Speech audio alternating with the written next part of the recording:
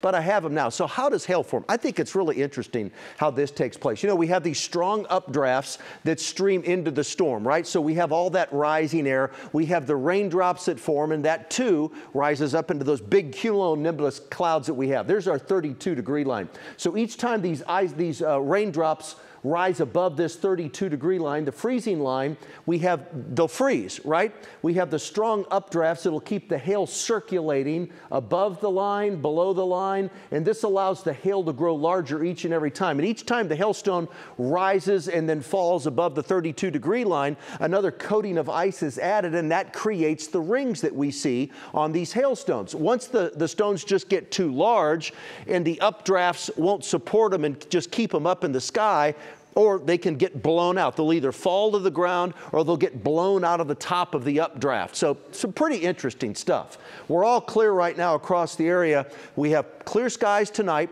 partly sunny skies tomorrow. Let me fast forward to Saturday at 8 o'clock in the morning. We'll have some clouds scattered about Saturday. There's late in the day, 5, 6, 7 o'clock. A little bit of isolated rain moves in. 20% during the daytime hours Saturday, 30, maybe 40% Saturday evening. There's Saturday there's that 30, maybe 40%. Now here's Sunday, 8 in the morning Sunday.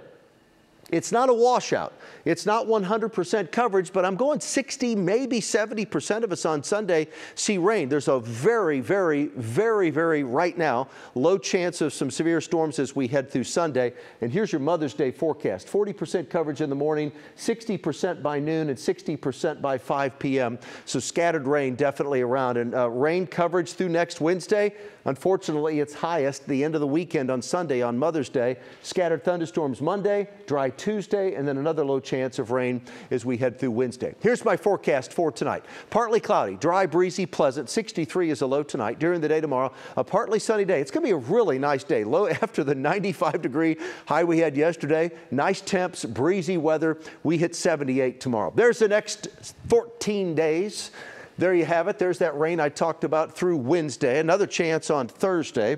The final seven of the 14 days after the rain Thursday. Hey, we finally have a stretch of five days where we have no rain in the forecast as of right now. That certainly could change, but as of right now, that's the latest. And a little bit of rain there on day 13 and day 14 on that 14 day forecast.